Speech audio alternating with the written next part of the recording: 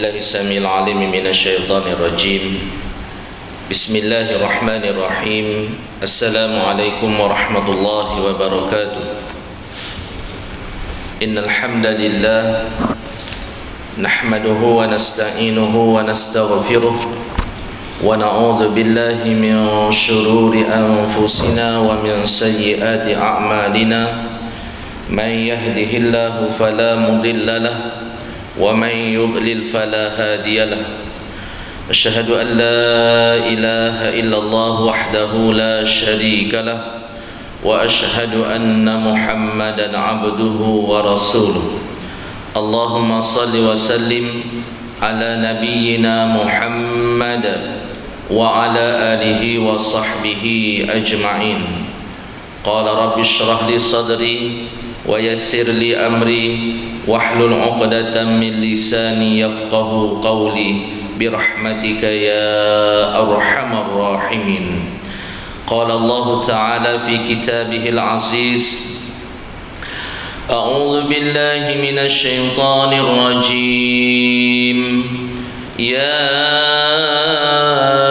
أيها الذين آمنوا اتقوا الله حق تقاته ولا تموتن إلا وأنتم مسلمون.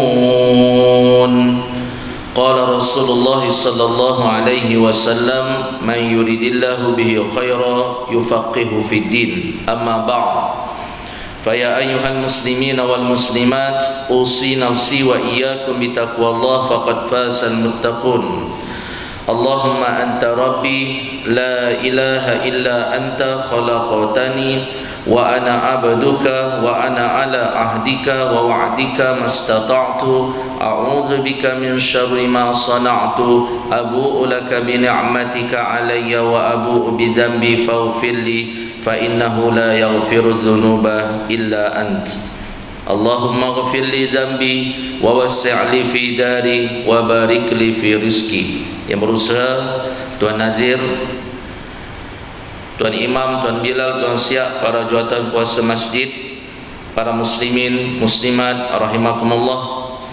Marilah kita bersama-sama mengucapkan Alhamdulillah. Segala pujian itu hanyalah milik Allah subhanahu wa ta'ala yang masih lagi mengurniakan kita kesempatan untuk berada di rumahnya pada pagi ini bersama-sama menunaikan salat fardu subuh secara berjemaah. Mudah-mudahan Allah menerima segala amal perbuatan kita sebagai nilaian amalan soleh di sisinya. Dan mudah-mudahan Allah menyelamatkan kita di dunia dan di akhirat nanti insya-Allah. Muslimin muslimat rahimakumullah. Saya tinggal di section 30 berdekatan dengan kampung Jalan Kebun dan sekarang saya bertugas di Kementerian Pelajaran Malaysia sebagai seorang guru menjawat jawatan sebagai penolong kanan kurikulum di Sekolah Kebangsaan Bukit Kucai Bandar Kinrara Puchong Alhamdulillah dengan izin daripada Allah kita bertemu pada pagi ini. Mudah-mudahan Allah memberikan kita kefahaman yang lebih di dalam agama dan memasukkan kita dalam kalangan hamba-hambanya yang beriman dan bertakwa kepadanya insya-Allah. Jadi tajuk yang diamanahkan kepada saya pada pagi ini ialah tajuk yang sangat biasa muslimin dan muslimat dengar iaitu kewajipan menuntut ilmu. Walaupun tajuk ini biasa namun sebenarnya pengamalan teratas ke atas tajuk ini sangat luar biasa tajuk ni memang biasa kita dengar lah tetapi mengamalkannya satu perkara yang sangat luar biasa kerana ramai yang tidak boleh mengamalkannya. Muslimin muslimat sina jemaah rahimakumullah. Mudah-mudahan Allah berikan hidayah dan petunjuk kepada kita insya-Allah dan kitab yang saya gunakan pada pagi ini adalah kitab yang diamanahkan oleh Jabatan Agama Islam Negeri Selangor untuk disampaikan di masjid-masjid dan surau-surau iaitu kitab Mastika Hadis dan saya merupakan salah seorang di antara pemegang tauliah Jabatan Agama Islam Negeri Selangor. Saya bawa kad dia tuan-tuan. Kan perlu ditunjuk kad ni. Macam kad nikah juga sah ke tak sah. Ya tuan-tuan kan?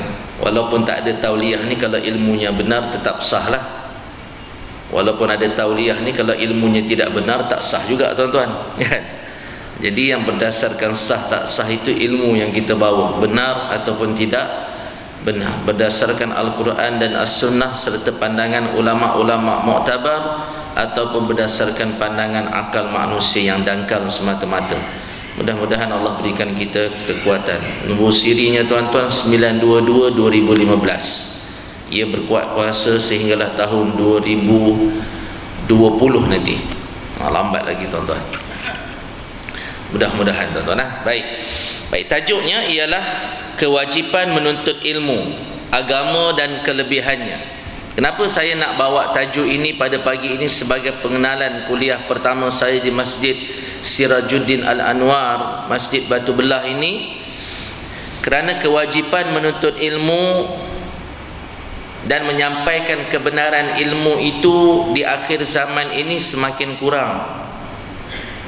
Mungkin kerana manusia terpedaya dengan keindahan dan kehidupan dunia menjadikan mereka malas untuk menuntut ilmu. Ataupun mungkin kerana teknologi yang sangat canggih ini menjadikan pun manusia malas menuntut ilmu. Sehingga ilmu itu tidak ada di dalam dada. Al ilmu laisa fil qulub.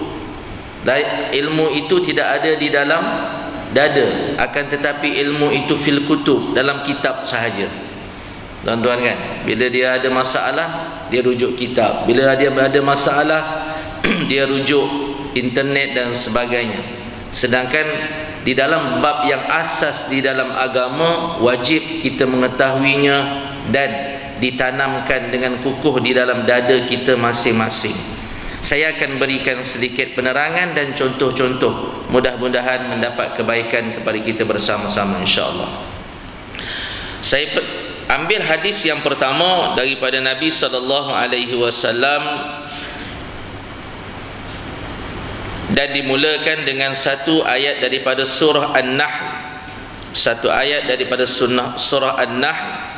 Allah Subhanahu wa taala berfirman, "Fas'alu ahla dzikr in kuntum la ta'lamun tanyalah kepada ahli zikr tanyalah kepada orang yang tahu selok belok ilmu terutama ilmu-ilmu agama sekiranya kamu tak tahu walaupun di akhir zaman ini ramai orang yang belagak tahu. Tuan-tuan kan? Belagak tahu. Dia belagak pandai. Dia belagak hebat.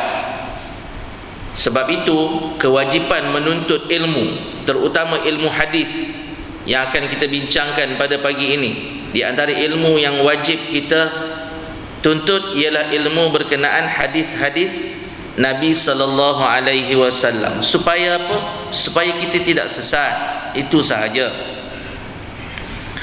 Kita bagi contoh. Ha, saya bagi contoh tuan-tuan kan? Tuan-tuan lihat ramai tak manusia yang solat tarawih? Ramai betul tak? Tuan-tuan sendiri pun solat tarawih ramai tak manusia yang solat sunat selepas daripada fardu isyak dua rakaat? Tak ramai. Ha, nampak tuan-tuan? Solat tarawih 20 rakaat dia boleh buat. Solat ba'diyah isyak dua rakaat dia tak buat. Tuan-tuan bayangkan ini adalah berkenaan dengan ilmu kefahaman terhadap ilmu antara yang wajib antara yang sunat antara yang harus antara yang haram antara yang makruh. Okey kita buat contoh. Dalam hadis yang sahih kita kembali kepada bulan Ramadan baru ni tuan-tuan. Sebab tak jauh sangat lagi kan? Sebulan lebih baru. Dalam hadis yang sahih Nabi kata man qama ramadana imanan wahtisaba ghufira lahu ma taqaddama min zambihi Nabi kata barang siapa yang qiyam pada malam Ramadan dengan penuh keimanan dengan penuh keikhlasan kemudian mengharapkan hanya kepada keredaan Allah ghufira lahu ma taqaddama min zambihi. Allah Subhanahu wa taala akan mengampunkan dosa-dosanya yang telah lalu dosa-dosa yang kecil dosa-dosa yang besar wajib bertaubat. Dosa-dosa yang kecil dosa-dosa yang besar wajib bertaubat. Baik. Malam ni ataupun malam semalam ada lagi tak qiyam Ramadan? Tak ada dah betul? Mana ada dah? Qiyam Ramadan hanya berlaku pada bulan Ramadan. Okey, solat sunat ba'diyah Isya. Solat sunat ba'diyah Isya yang dinamakan solat sunat muakkad. Muakkad tu maksudnya yang sangat dituntut. Berlaku tak malam semalam? Berlaku. Malam ni berlaku tak? Berlaku. Okey, apa fadilat dia? Ah, Fadilat qiyam Ramadan, qiyam Ramadan. Qiyam tu maksudnya solat lah. Berdiri, mendirikan malam Ramadan. Fadilat itu mengampunkan dosa-dosa yang telah lalu. Okey, apa pula fadilat solat sunat ba'diyah Isya? Okey, untuk mendapatkan fadilat solat sunat ba'diyah Isya, ia perlu dimulakan daripada subuh sehinggalah Isya. Iaitu dua rakaat sebelum subuh. Tadi kita dah buat dua rakaat sebelum subuh. Siapa yang tak buat lepas ni jangan tak buat buat. Satu-satu di antara bukan satu di antara solat sunat yang Nabi qada balik. Yang Nabi qada balik ialah solat sunat sebelum subuh. Tuan-tuan sampai masjid imam sedang solat fardu subuh betul? Sempat tak nak solat sunat sebelum subuh? Tak sempat kan? Ha, lepas ni buat balik. Walaupun pada waktu yang haram boleh dibuat ha, nampak? Satu di antara solat sunat yang Nabi qada balik. Tuan-tuan bayangkan. Besar tak fadilat kalau Nabi sam sampai qada balik tu? Besarlah walaupun Nabi tak bagi tahu fadilatnya tapi perbuatan Nabi itu menunjukkan solat sunat sebelum subuh itu sangat besar fadilatnya. Tapi ramai orang tak buat. Betul tak tuan-tuan? Tak buat. Dia tunggu Ramadan nanti dia buat pula. Tahun depan pula lah kan? Nampak? Baik. Barang siapa yang solat sunat sebelum subuh dua rakaat sebelum zuhur empat rakaat selepas zuhur dua rakaat asal tak ada. Sebab asal itu dia panggil ghairu muakkad. Solat sunat sebelum asar itu ghairu muakkad. Buat pun tak apa tak buat pun tak apa. Kalau muakkad tak buat rugi. Muakkad tak buat bukan tak apa tak buat ru rugi. Ai kenapa rugi ustaz? Ah ni nak bagi tahu ni kenapa jadi rugi tu? Okey barang siapa yang solat sunat sebelum subuh dua rakaat empat rakaat sebelum zuhur dua rakaat selepas zuhur dua rakaat selepas maghrib dua rakaat selepas isya. Berapa jumlah semua sekali tuan-tuan?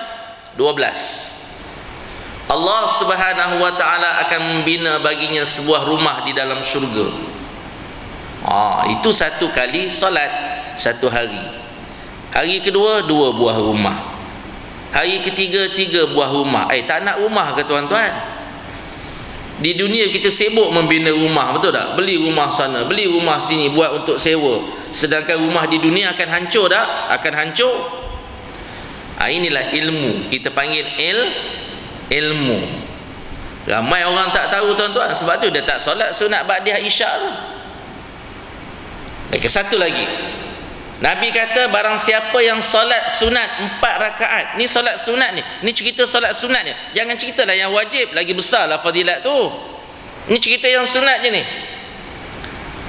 Nabi kata barang siapa yang solat sunat empat rakaat sebelum zuhur empat rakaat sebelum zuhur. Maka Allah subhanahu wa ta'ala mengharamkan baginya daripada memasuki api neraka Masya Allah ini hadis yang sahih. Tuan-tuan jangan risau. Saya tak buat hadis, tak bawa hadis palsu kat masjid ni. Ini cerita hadis-hadis sahih belaka. Kita tak bawa hadis palsu. Kita bawa hadis yang sahih. Berapa rakaat tuan-tuan untuk diharamkan daripada masuk neraka? Empat rakaat. Tuan-tuan datang solat fardu zuhur di masjid. Tuan-tuan solat empat rakaat sebelum fardu zuhur sama ada di rumah solat empat rakaat sebelum fardu zuhur ataupun solat di masjid sebelum solat zuhur itu empat rakaat. Tuan-tuan balik keluar daripada masjid. Bukankah sekarang ni banyak berlaku kematian tiba-tiba betul tak? Masuk kereta kena jantung mati. Keluar daripada kawasan masjid langgar di orang mati. Bukankah tadi tuan-tuan dah solat sunat empat rakaat sebelum zuhur? Allah kata apa? diharamkan dia daripada masuk ke dalam neraka selagi dia tak syirik kepada Allah Subhanahu wa taala. Masya-Allah tuan-tuan. Nak dapat mana? Ilmu. Sebab itu wajib menuntut ilmu. Sebab itu hadis yang sangat masyhur tentang kewajipan yang biasa kita dengar ialah hadis yang diriwayatkan daripada Anas bin Malik radhiyallahu anhu yang telah berkata bahawa Nabi sallallahu alaihi wasallam telah bersabda kata Anas bin Malik talabul ilmi faridatun ala kulli muslimin. Ada yang lain hadis lain sebut ala kulli muslimin wa muslimatin. Nabi kata menuntut ilmu itu wajib fardu. Menuntut ilmu itu fardu kepada orang-orang Islam lelaki dan orang-orang Islam perempuan apa maksud Islam? Islam itu menyerahkan diri. Betul tuan-tuan? Kita orang Islam ni orang yang menyerahkan diri. Menyerahkan diri kepada siapa? Allah. Seorang penjenayah bila dia menyerahkan dirinya kepada polis dia terimalah apa sahaja yang polis tu akan buat pada dia. Betul tak tuan-tuan? Kita ni penjenayah juga. Pasal banyak lupa Allah. Penjenayah lah tu tuan-tuan kan? Penjenayah agama. Kita serahkan diri kepada Allah. Maksudnya kita akan ikut dan taat apa sahaja yang Allah perintahkan. Maka di sini Allah kata menuntut ilmu itu fardu untuk kamu. Kamu serahkan diri kamu kepadaku. Nah sekarang ni tanggungjawab kamu ialah kamu tunaikan hak aku tuntut ilmu bagi kamu faham tentang agama. Bila kita tidak faham tentang agama, banyak tak komplikasinya, banyak tak keburukannya? Banyak. Kadang-kadang kita berdoa pun tak tahu apa benda yang kita minta, betul tak tuan-tuan? Selama ni kita berdoa dalam solat. Banyak doa dalam solat tu. Orang duk bergaduh tuan-tuan kan. Nak berdoa ke tidak lepas solat? Nak berdoa ke tidak lepas solat? Bergaduh. Eh aku nak berdoa. Eh aku tak nak berdoa lepas solat. Aku nak berdoa lepas solat. Bergaduh. Eh yang dalam solat tu kau dah faham dah? Yang kau dah rukuk sujud tu kau dah faham dah bacaan-bacaan dia. Rabbil firli. Tuan-tuan terjemahkan sekarang dalam dalam hati tuan-tuan. Rabbil firli. Terjemahkan sekarang. Warhamni. Wajburni. Ha, masuk wajburni dia keliru selalu apa benda tu. Rabbi fili biasa dengar kan ampunkan aku ya Allah warhamni rahmati aku ya Allah wajburni ha tuan-tuan kan? Bila sebut wajburni ya apa benda eh? 30 tahun dah solat tu. Nampak tuan-tuan? Asas. Ia asas di dalam ibadah. Memahami apa yang kita baca di dalam solat. Sebab tu manusia solat main-main tuan-tuan. Kalau dia faham betul solat, dia sebut Allahu Akbar pun dia sebut betul-betul, dia tak main-main. Dia sebut Allahu Akbar, Allah Maha Besar. Masih yang kat takbir kan? Allahu Akbar, Allah Maha Besar. Ramai orang yang Allahu Akbar dipanjangkan A. Bertukar dah maksud? Bertukar adakah Allah maha besar dia tanya balik ubah tuan-tuan bahasa Arab ni bukan boleh main-main bukan boleh duduk-duduk di kedai kopi sambil main dam dapat ilmu tak boleh kalau duduk-duduk di kedai kopi sambil main catur dapat ilmu ah tak lama lagi kejap lagi sesat lah tu. Tuan-tuan ia kena menuntut ia kena belajar ia kena banyak membaca. Nah kalau disebut lagi Allahu Akbar Allah adakah dia maha besar? Sama juga tak betulnya. Sebab sekarang ni nasyid-nasyid banyak ni kasidah-kasidah banyak yang duduk begini sebut tuan-tuan. Kan Zaharadinul mu'ayyad Saya pun tak hafal lagu tu Ya, ya hanana bi Muhammad Zalikal fadlu min Allah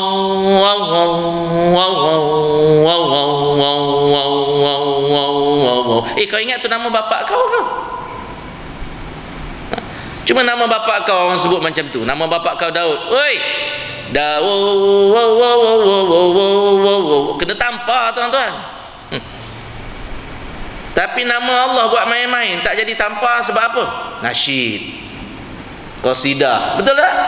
Betul tak tuan-tuan? Ke selama ni tak apa sedap kot eh? Macam sedap je bunyi kan. Sedap je ustaz bunyi. Rupanya tak boleh ustaz. Tak boleh lah tu nama Allah. Tuan-tuan pernah dengar Tok Bilal kita azan Allah Kena tampar dengan Tok Imam kejap eh. Tak sempat habis azan lah Kena flying kick dulu Pasal itu nama Allah Nama Allah Kena ikut betul-betul law Undang-undang nak sebut nama Allah kalau nak bernasyid pun zalikal fadlu minallah. Dah lah. Kenapa mesti zalikal fadlu minallah? Wow wow wow wow wow wow benda tu. Tuan tak nampak? Nama Allah. Sedangkan ketika kita berzikir tahlil La ilaha illallah La ilaha illallah Allah Banyak tak tuan-tuan orang macam tu? Kan? Dia tak cukup nafas Tuan Azir Dia tak cukup nafas La ilaha illallah. Dia pun berhenti tak cukup nafas Dia pun sambung. Allah. Boleh tak? Tak boleh Sebab Allah. Ada ke Allah? Dia tanya balik. Nasiblah Allah tak jawab tu Kalau Allah jawab tu Jenuh tuan-tuan Kena sedebuk di situ kan? Ya, ilmu. Ia kerana il ilmu. Bukan kita tak bagi qasidah. Qasidah lah. Tapi biar ayat qasidah itu jangan menghina nama Allah. Jangan menghina nama nabi. Nak bes, nak nak nak nak berqasidah dengan nama nabi. Ya muhammad.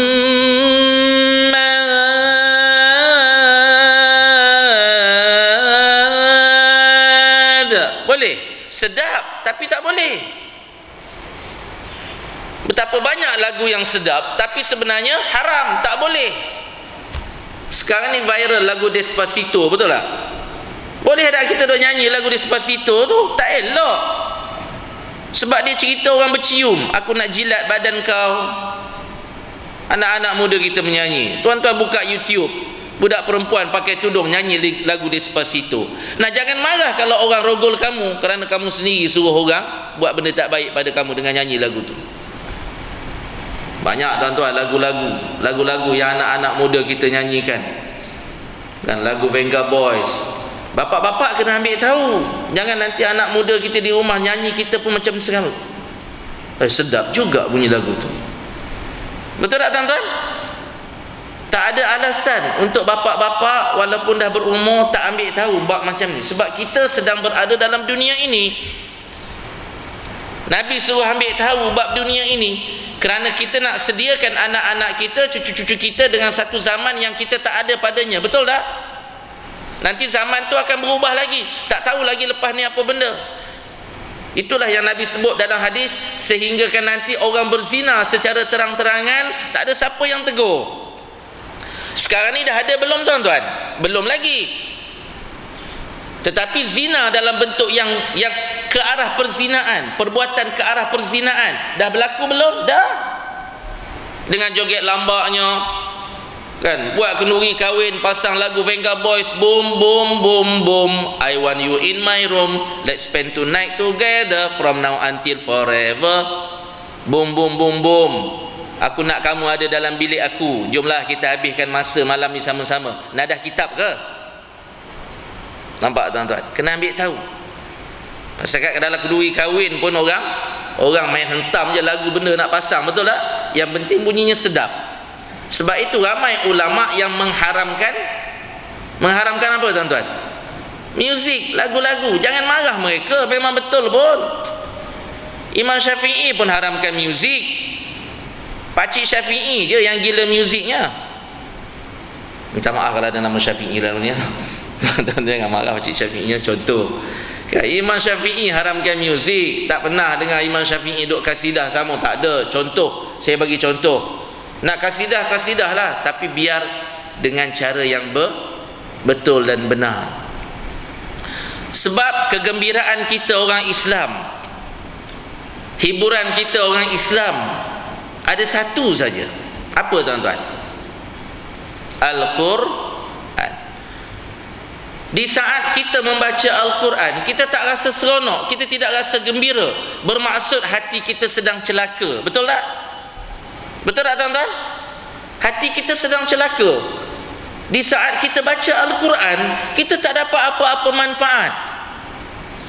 Sebab itu kita lihat manusia yang jauh daripada Al-Quran makin lama kehidupannya makin rosak. Seperti orang yang sakit kena saka dia tak nak baca Quran dia sibuk cari perawat. Jumpa ustaz tu jumpa ustaz ni ustaz tolonglah ubat saya. Ustaz A kata bolehlah saya ubat awak. Saya rasa saya dah scan badan awak ni. Oh scan. Tuan-tuan kan? Ah, saya scan badan awak ni saya rasa ada 50 ekor jin dalam badan awak. Tak apalah seko awak bagi 50 ringgit. Tuan-tuan kali ya 50 ekor tak 2500 kena bayar betul? Betul tuan-tuan? Bayar 2500 ok saya dah buang 50 ekor jin tu. Tak ada lagi dah saka pada badan awak. Lepas 6 bulan sakit balik jumpa Ustaz B pula. Ustaz B kata ui ada 100 ekor jin badan awak ni. Lah. Itu hari kata 50 dah buang kenapa jadi 100 pula ustaz? Dia bukan buang dia tambah 50 lagi. Kena tipu aja. Betul tak tuan-tuan sedangkan bukankah Allah dah bagi tahu dalam Al-Quran itu sebagai penawar? Tetapi kerana manusia tak nak menuntut ilmu tak nak ambil tahu tentang kehebatan Al-Quran dia jauh daripada Al-Quran. Duit dia habis. Yang paling menakutkan bukan sekadar duit dia habis. Yang paling menakutkan iman dia habis. Iman dia habis. Waktu masyarakat kita tuan-tuan gila dia membeli air jampi di kedai tu betul tak betul tak tuan-tuan? Ah jampi 30 juz juzuk al-Quran. Dengan minum air ni nanti anak yang malas solat jadi rajin solat. Dengan minum air ni nanti anak yang malah belajar jadi rajin belajar. Suami yang suka minum di kedai mamak tak lagi minum di kedai mamak minum di rumah je. Kepercayaan dia betul tak tuan-tuan? Ah, kalau macam tu tak usah. Nabi tak usah berdakwah lah tak usah cukup Nabi kumpulkan sahabat-sahabat. Tuan-tuan dulu Abu Jahal Abu Lahab minum air apa? Minum air apa? Minum air zam-zam. Dia bukan minum air kowe dia bukan minum air air sungai gau bukan. Dia minum air zam-zam. Air zam-zam itu hanya memberikan keberkatan kepada orang yang ber beriman kepada Allah sahaja.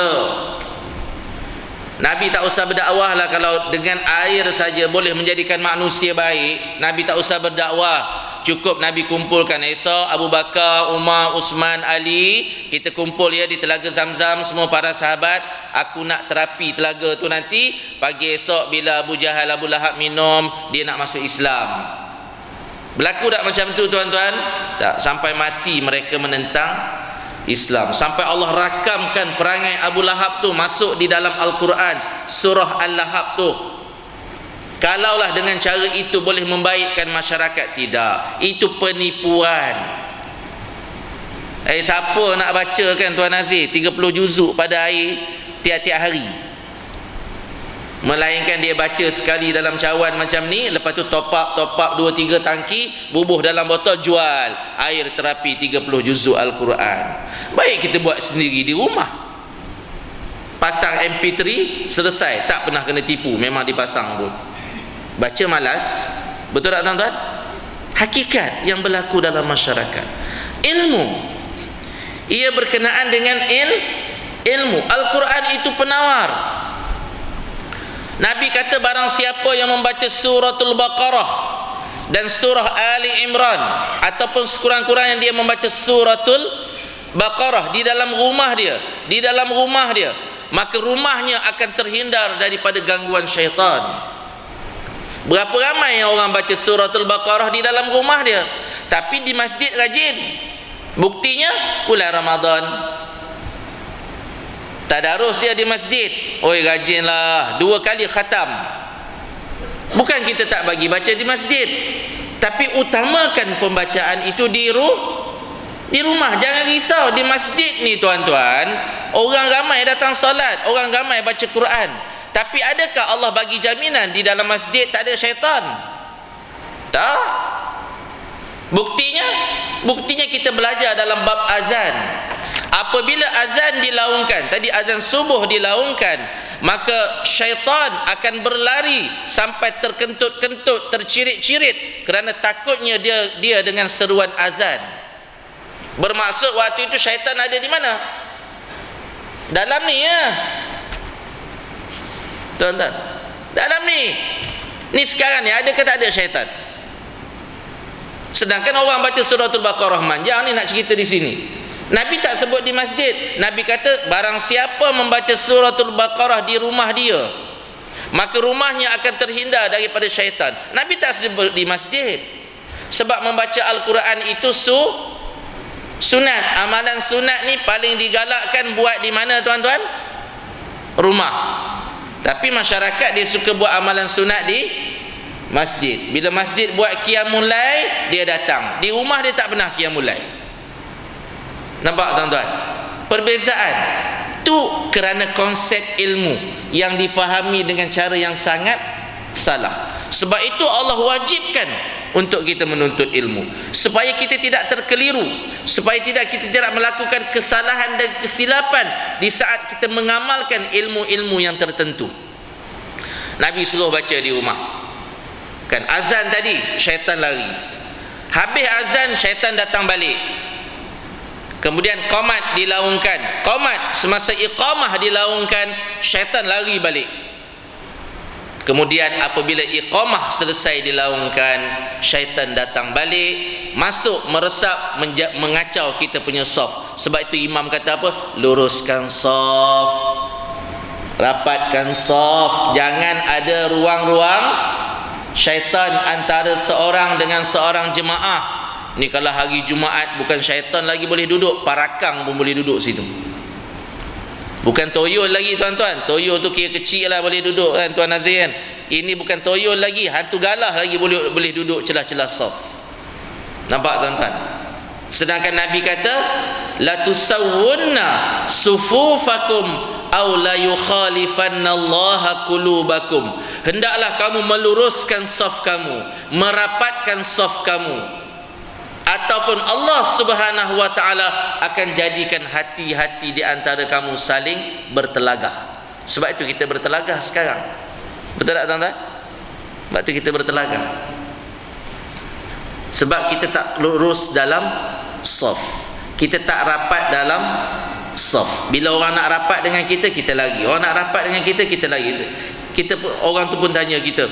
Apa ni? Kita tanya dia balik kau ni kenapa ni? Rapat-rapat ni? Tak memang soft solat dalam masjid tu rapat-rapat. Kan luah masjid ni jauh dah sikit. Rimah aku. Eh nak solat seorang-seorang seorang-seorang di rumah lah.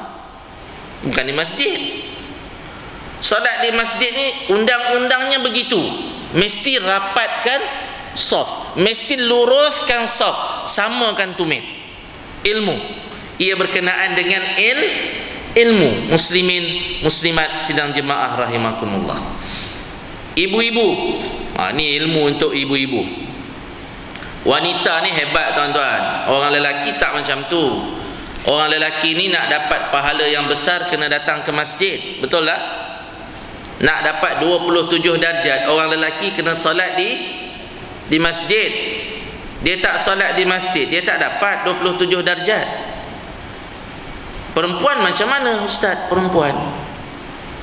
Perempuan dia kena galakkan suami dia ke masjid. Walaupun dia tak ke masjid, dia tetap mendapat ganjaran sebagaimana suaminya dapat. Suaminya kena bersesak-sesak datang masjid.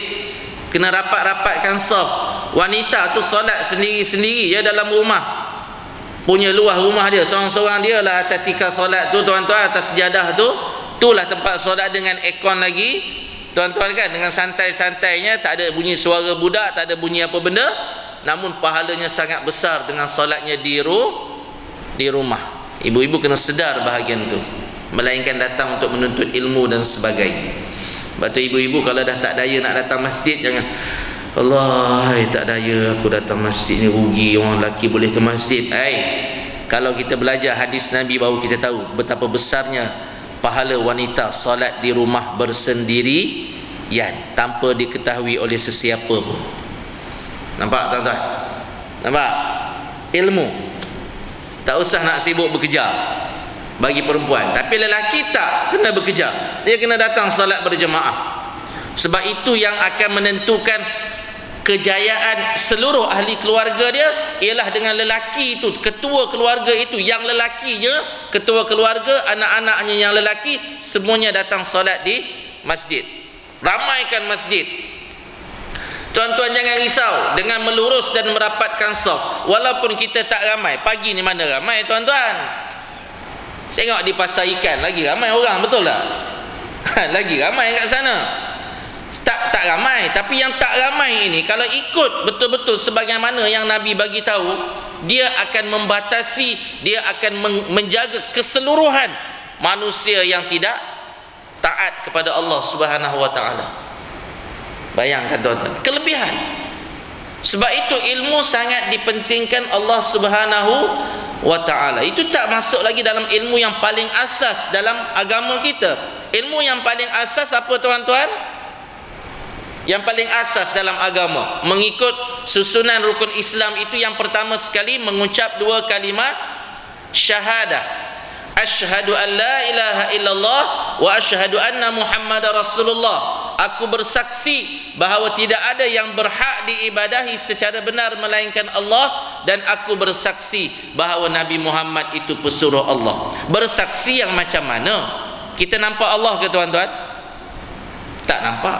Bermaksud bukan bersaksi dengan apa? Mata. Kita nampak Nabi ke? Kita ada jumpa Nabi ke tak? Bermaksud bukan bersaksi dengan mata. Bersaksi dengan jiwa dengan hati kita. Macam mana kita nak boleh bersaksi tersebut? Dengan melihat kebesaran Allah betul? Kita nak rasakan kebesaran Allah. Tidak ada yang berhak diibadahi secara benar melainkan Allah. Nak rasakan kebesaran Allah tentulah dengan penyaksian jiwa kita berdasarkan ilmu yang Allah bagi kepada kita kemudian kita asah lagi ilmu tu bagi kilat bagi cantik. Belajar tentang sifat Allah Subhanahu wa taala belajar tentang ke, ke, kehebatan Allah Subhanahu wa taala ambil tahu ayat al-Quran yang menerangkan tentang kehebatan Allah Subhanahu wa taala. Yakin Allah itu Maha Pengampun. Sebab sekarang ni ramai orang tak yakin Allah itu Maha Pengampun. Sebab tu dia nak menerakakan orang je kerjanya. Betul tak tuan-tuan Nampak orang minum arak, hmm, ni ahli neraka. Nampak orang buat maksiat, hmm, ni ahli neraka. Semua ahli neraka berlaku. Dia seorang jadi syurga. Akhir zaman ni tuan-tuan. Sedangkan Allah Maha Pengampun tak? Maha Pengampun. Tu bukti Allah Maha Pengampun tadi. Solat empat rakaat sebelum fardu zuhur, Allah ampunkan segala dosa-dosa kita yang Allah Allah haramkan kita daripada masuk neraka, tuan-tuan. Ampunlah tu dosa. Ada lagi amalan yang ringkas yang perlu kita lakukan. Tadi kita buat bersama-sama dengan imam.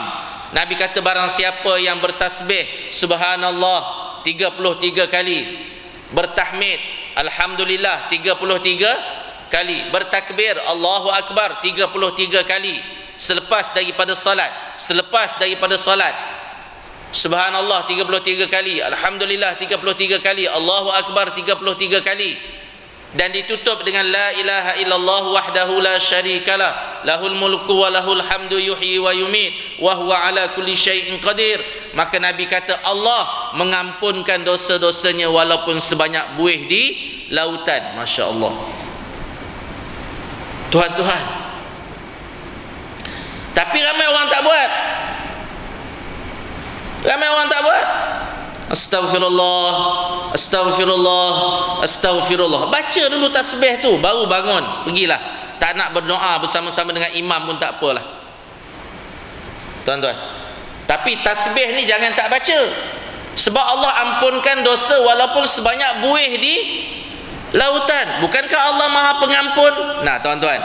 Tu yang kita dapat dalam konsep dua kalimah syahadah yang sebenarnya Yang sepatutnya lah sebab untuk memahami konsep dua kalimah syahadah ia perlu dengan il ilmu. Tak boleh ucap saja. Kalau ucap saja samalah seperti burung kakak tua. Burung kakak tua kita ajar dia mengucap. Dia mengucap tak tuan-tuan? Dia mengucap. Asyhadu an la ilaha illallah, asyhadu an la ilaha illallah, asyhadu ilaha illallah. Dia faham tak? Dia tak faham sebab dia tidak dituntut untuk melaksanakan kefahaman tersebut. Kita orang yang beriman mengucap pada waktu yang sama kita wajib mengamalkan apa yang kita ucapkan. Aku bersaksi bahawa tidak ada yang berhak diibadahi secara benar melainkan hanyalah Allah. Sebab itu kita disuruh baca 17 kali kita ulang sehari semalam. Iyyaka na'budu wa iyyaka nasta'in. Hanya engkau ya Allah yang kami sembah. Dan hanya engkau ya Allah tempat kami memohon pertolongan dan perlindungan. Kita baca tak tuan-tuan? Kita baca. Ramai manusia baca dalam salat begitu juga ramai manusia di saat dia mengangkat takbir Allahu akbar Allah maha besar tu satu lagi yang tak boleh sebut tuan-tuan. Allahu Akbar. Tak boleh.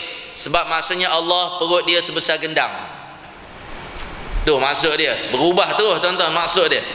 Sebab tu tak boleh panjang pendek tak kena tempat. Mesti talaqi musyafahah. Kena jumpa tuan imam kita kena jumpa tuan nazir tu sebut Allahu Akbar biar orang dengar. Ni tolong tuan imam saya nak sebut Allahu Akbar ni betul tidak? Allahu Akbar. Okey lulus talaki tuan-tuan. Selama ni kita talaki Quran je betul tak? Ibadah kita tak talaki zikir-zikir kita tak talaki kena talaki tuan-tuan sebab manusia ni suka berzikir tapi tak suka belajar. Sepatutnya yang dituntut belajar dulu baru ber baru berzikir.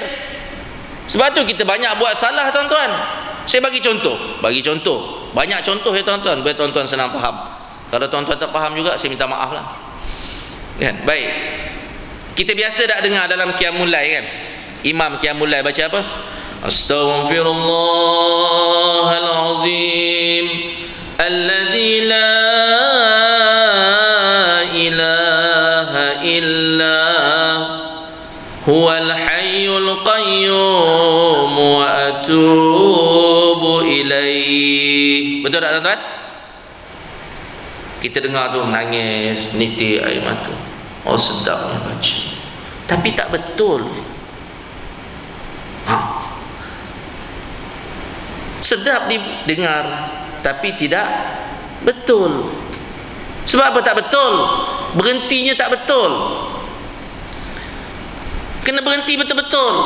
Astaghfirullahalazim. Alladzi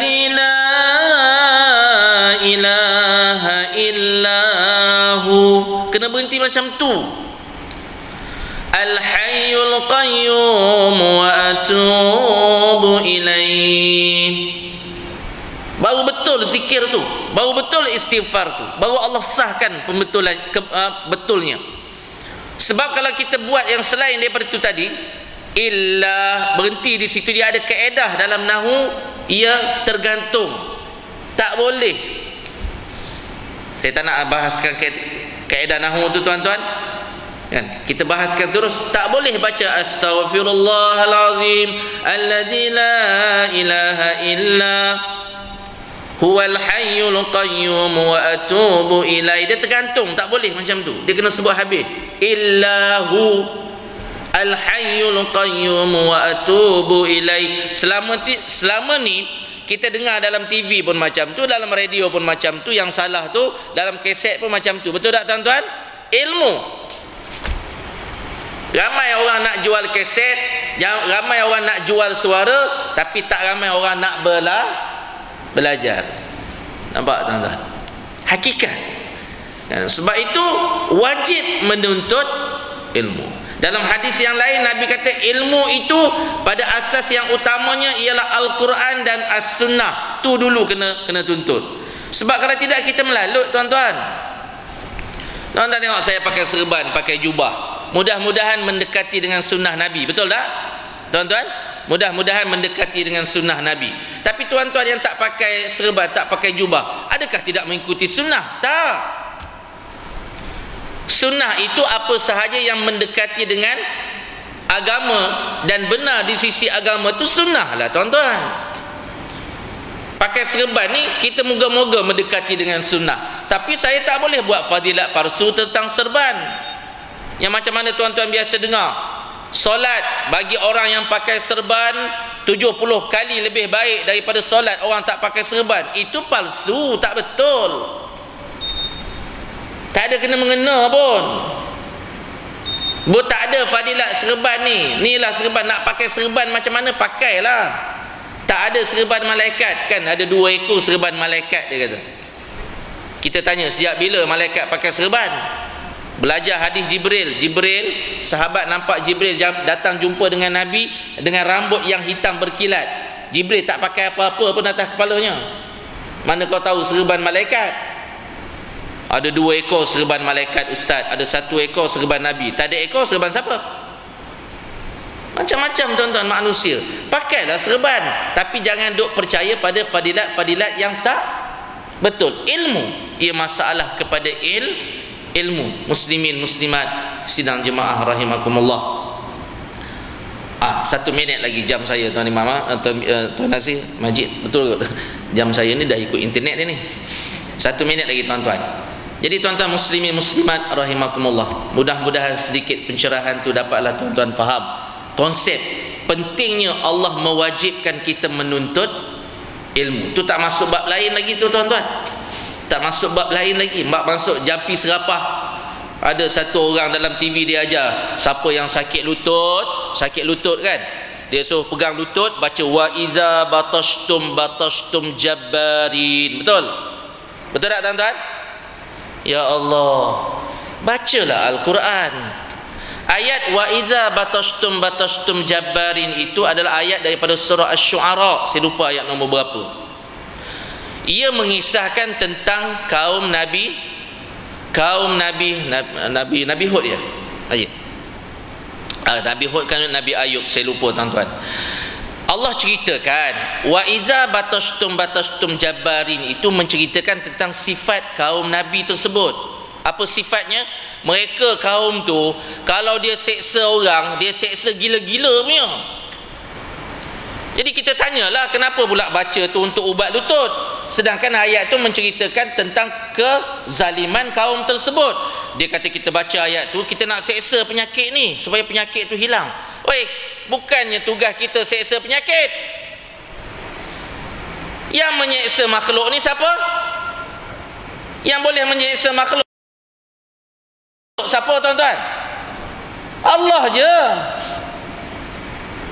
Masya Allah Masuk dalam TV ilmu ni. Orang ramai orang amal. Tuan-tuan Sedangkan tak betul ilmunya. Tak bertepatan langsung dengan tafsir kepada ayat tersebut tapi ada tak ustaz? Ustaz, ubat yang untuk sakit lutut. Nabi bukan setakat bagi ubat sakit lutut, segala penyakit Nabi ubat bagi uh, Nabi, Nabi bagi ubat. Antara bacaan yang yang yang sangat uh, apa ni manjur, manjur benda tuan-tuan kan lupa bahasa Melayu macam bahasa Indonesia tu kan banjur uh, apa amujarab oh susah Allah tuan-tuan nak sebut antara bacaan yang insya-Allah mujarab yang Nabi ajar Nabi kata apabila kamu sakit seorang sahabat jumpa Nabi dia kata ya Rasulullah aku kena penyakit yang hampir membunuh aku. Penyakit yang hampir membunuh ni banyak tuan-tuan. Kanser betul tak? Kanser payudara bagi wanita. Semua ni penyakit yang hampir membunuh. Migrain pun hampir membunuh juga. Jadi Nabi kata pegang di tempat yang sakit dengan tangan kanan kamu. Kalau ada tangan kanan, kalau tak ada bawa tangan kiri. Pegang tempat yang sakit dengan tangan kamu, kepala sakit, pegang dengan tangan kanan kamu, usap, baca bismillah, bismillah, bismillah. Berapa kali? Tiga kali. kemudian baca tujuh kali. A'udzu bi izzatillahi wa qudratihi min syarri ma ajid. Ataupun a'udzu bi izzat a'udzu bi izzatillahi wa qudratihi min syarri ma ajidu wa uhadzir berapa kali? Tujuh kali sahabat tadi amalkan kemudian dia dia kata aku amalkan apa yang nabi ajarkan dan aku sembuh daripada penyakit yang hampir membunuh aku Jangan risau, Nabi dah ajar dah. Cuma orang je tak nak ajar pada manusia lain. Duk ajar benda yang mengarut. Ada pula ayat seksa baca untuk lutut. Makin seksa lah lutut tu. Tuan-tuan, kan? Nabi dah ajar. Kalau Nabi tak ajar, kita tak kisah. Tapi Nabi dah ajar. So ikutlah apa yang Nabi ajar. Kata cinta kepada Nabi. Cinta pada Nabi macam cinta pada isteri tapi duk menyenyeh dengan perempuan lain elok ke tuan-tuan abang cinta sayang 100% kan tuan Nazir tapi duk menyenyeh dengan perempuan lain tak terima isteri kita tuan-tuan itu isteri kita Nabi kita cinta pada Nabi tapi duk mengarut dengan ajaran dia. Nabi terima tak? Lagi tak terima. Sedangkan mencintai Nabi itu satu kewajipan. Mencintai isteri bukan satu kewajipan. Mencintai suami bukan satu kewajipan. Ada masa suami tak betul tak boleh cinta dia dah. Betul tak tuan-tuan? Ada masa isteri tak betul tak boleh cinta dia dah kalau dia melarang kita daripada agama kita tak boleh cinta dia dah. Tapi mencintai nabi satu kewajipan. Dia tidak berubah daripada dulu sampailah kiamat nanti wajib cinta kepada nabi sallallahu alaihi wasallam. Ikutlah yang nabi buat. Tapi selalu manusia dia khilaf dengan Nabi. Melawan aja kerjanya ni tuan-tuan dengar Nabi bagi tahu dalam hadis yang sahih. Nabi kata barang siapa yang masuk ke rumahnya dengan membaca bismillah. Baca apa tuan-tuan? Bismillah je bukan bismillahirrahmanirrahim. Bismillah je. Balik ni amal. Siapa yang rasa dalam rumah tu banyak sangat jin duduk bergentayangan atas TV ada jin, atas almari ada jin, dalam bilik air ada jin. Ha, baca ni balik ni. Nabi kata barang siapa yang masuk ke rumahnya membaca bismillah. Salam jangan lupalah. Salam kena bagilah tuan-tuan. Ada orang ke tak ada orang kita tetap bagi salam. Itu doa kesejahteraan. Nabi kata dia masuk ke rumah dia baca bismillah. Dia makan dia baca bismillah. Bismillah. Dia makan dia baca bismillah maka Nabi kata syaitan yang di luar tak boleh masuk ke dalam rumah syaitan yang dalam rumah akan lari keluar simple ya baca apa bismillah. Bukan suruh baca baqarah pun. Kan? Bukan suruh baca fatihah ayat kursi tak bismillah je. Kemudian dia makan dia baca bismillah. Maka syaitan akan saling berkata di antara kawan-kawan. Dia kata hari ini kita tidak ada homestay. Dan hari ini kita tidak ada buffet. Tak ada tempat untuk tidur menginap. Tak ada tempat untuk ma makan. Tapi kalau tuan-tuan menonong hanya bagi salam bismillah tak baca bismillah tak baca. Makan pun baca Allahumma barik lana fima razaqtana wa qina azabannar. Bismillah tak baca. Maka syaitan akan berkata di antara kawan-kawan dia kata apa hari ini kita ada tempat tidur ada host, home, homestay power punya. Hari ini kita boleh makan sama-sama dengan tuan rumah. Nampak tuan-tuan? Simple. Ajaran nabi itu sangat sim simple mudah. Tapi besar tak dia punya fadilat? Besar. Setan dalam rumah lari keluar yang di luar tak boleh ikut. Ni tak tuan-tuan. Tak amal yang apa nabi buat. Yang dia mengarut. Kan? Dia duduk mengarut. Keluar daripada rumah dia mengarut. Keluar daripada rumah langkah kaki kanan. Kan? Bumi ku pijak langit ku junjung. Allah berserta denganku. Ada pula itu yang dia baca. Ya Allah bacalah yang Nabi baca. Bismillahirrahmanirrahim wala haula wala quwata illa billah. Tambah dengan satu doa lagi. A'udzu bismillah. A'udzu a'udzu a'udzubika uh, subhanallah tuan-tuan. Ni bila mengajar ni macam itulah kadang kita pun lupa. Uh, aku berlindung denganmu. A'udzubil a'udzubika Allahu akbar. Dia ada ayatnya. An adilla au udalla. An azilla au uzalla. An ajhala au ujhala alayya. Tu di antara doa yang nabi baca. Kata ummu salamah nabi keluar daripada rumah nabi pandang ke langit. Nabi baca doa ni. Allahumma inni Allahumma inni a'udzubika an adilla au udalla. Ya Allah aku berlindung denganmu daripada daripada disesatkan ataupun menyesatkan orang. Nampak doa ni tuan-tuan? Bagus tak doa ni? Aku berlindung denganmu daripada disesatkan orang ataupun orang menyesatkan aku. Tu yang kena tipu dengan goreh dan menang tu tak baca doa ni. Tuan-tuan kan? Tu yang kena tipu dengan bank telefon tu minta nombor kad kredit minta nombor bank semua bagi belaka tuan-tuan. Ni doa ni Nabi ajar dulu. 1400 tahun dulu Nabi ajar doa ni an azilla au uzalla. Daripada aku aku dicelakakan orang ataupun orang mencelakakan aku. An ajhala au ujhala alayya. Daripada aku membodohkan orang daripada ataupun orang membodohkan aku. Nampak tuan-tuan? Kita kadang-kadang datang masjid pun kena bodohkan juga. Betul tak tuan-tuan? Ramai orang mengajar benda-benda tak betul di masjid jadi bodohlah kita ha, tuan-tuan tuan-tuan jangan lupa baca bismillahirrahmanirrahim. 786 kali. Nampak? Kalau ada sebarang hajat. Eh itu ilmu kedai mamak. Tuan-tuan pernah jumpa tak kedai mamak tujuh?